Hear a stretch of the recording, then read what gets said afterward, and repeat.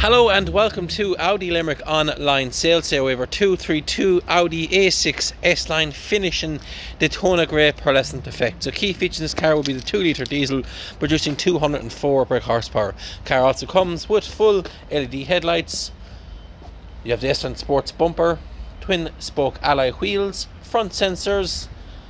You also have S line side badging, sports side skirts, chrome detailing around the windows, LED backlights with dynamic indicators, the S-Line Sports back bumper with reversing sensors. This car also comes with a quick release boot, and again a very generous boot in terms of capacity. Moving inside this vehicle, this car comes complete with the sports steering wheel,